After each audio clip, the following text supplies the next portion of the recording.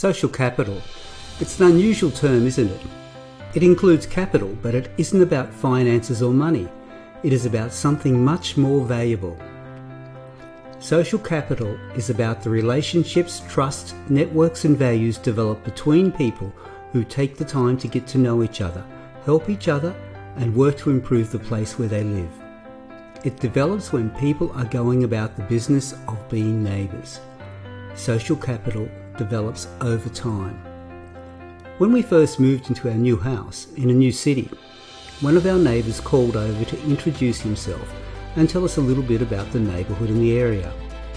People would smile at each other and say hi when they passed you in the street. We had one or two street get togethers to meet more of our neighbours. These were easy to arrange an invitation in each person's letterbox and then wait for them to turn up.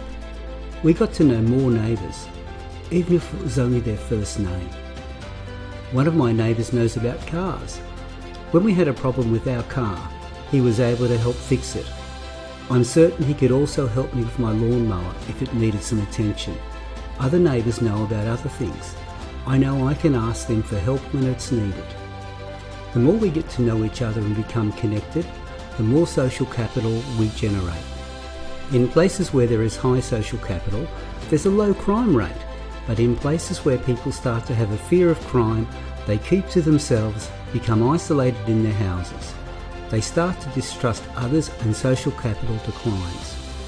I know in my street, if there is anything suspicious or out of the ordinary happening, someone would intervene and call the police before a crime could be committed. Our safety is related closely to how much social capital we have. Our local school is part of our community. The principal keeps in contact through a newsletter every week. There are activities where the school invites community members to come to where they can get to know each other and the people who work at the school. All the teachers are friendly and greet parents and other members of the community. They have high social capital with the community. In places with high social capital, if there is a problem, neighbours will get together and try to find a solution. These are good places to live. People know each other, trust each other, are connected and care for each other and the place where they live. Social capital, more valuable than high finances.